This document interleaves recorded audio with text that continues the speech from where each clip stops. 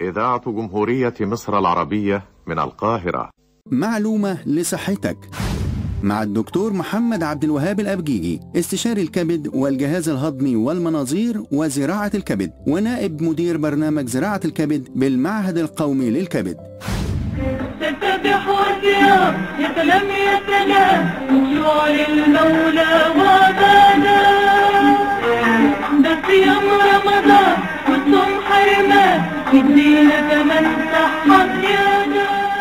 إزاي تخس في رمضان؟ اللي عايز وزنه ينزل عنده في شهر رمضان فرصة ذهبية علشان ينزل وزنه بأقل مجهود لأن في الشهر الكريم ده صيامنا ساعات طويلة بيقتطع جزء كبير من يومنا من غير ما ناكل وبيخلي عدد ساعات الأكل في اليوم محدود جدا. شوية تنظيم صغيرين في أكلنا خلال رمضان مع حبة إرادة صغيرة هنقدر ننزل وزننا بسهولة جدا خلال ال 30 يوم دول. لأن الدراسات الطبية قالت إن من الطبيعي إن وزن كل واحد مننا المفروض ينزل في رمضان من 2 ل 3 كيلو. يبقى إزاي نخس في رمضان؟ نبدأ اليوم من أوله من أول وجبة السحور. الوجبة المهمة جدا علشان الصيام. لو ركزت إنك ما تاكلش فيها سكريات ونشويات كتير وتركز أكتر على البروتين زي الفول والبيض والعدس.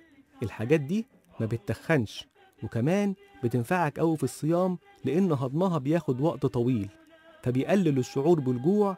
ده غير طبعا قيمتها الغذائية العالية. مهم أوي في وجبة السحور ناكل فاكهة فريش اللي برضه ما فيهاش سعرات حرارية عالية وفيها كمان شوية فيتامينات كويسين وفيها نسبة مية كويسة بتمنع العطش خلال الصيام. بعد كده في خلال ساعات الصيام ممكن نعمل إيه علشان وزننا ينزل؟ بالكتير بعد 8 ساعات من وجبة السحور اللي انت كلتها بتكون الوجبة دي خلاص اتهضمت كلها. وعلشان جسمنا محتاج طاقة بعد الثمان ساعات بيبدأ الجسم يخرج من الجلوكوز اللي متخزن في الكبد. لمدة حوالي ست ساعات. علشان يحافظ على مستوى السكر والطاقة في الجسم زي ما هو.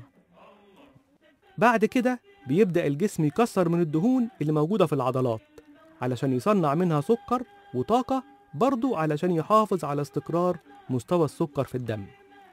علشان كده اللي عايز يخس أنسب وقت يعمل فيه رياضة زي المشي الرياضي سواء في الهواء الطلق أو على المشاية الرياضية هو الساعة الأخيرة قبل الفطار.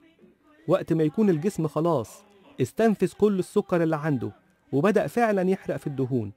فبتكون الرياضة في الوقت ده مفيدة جدا علشان التخسيس لأن حرق الدهون دلوقتي هيبقى عالي جدا مع الرياضة.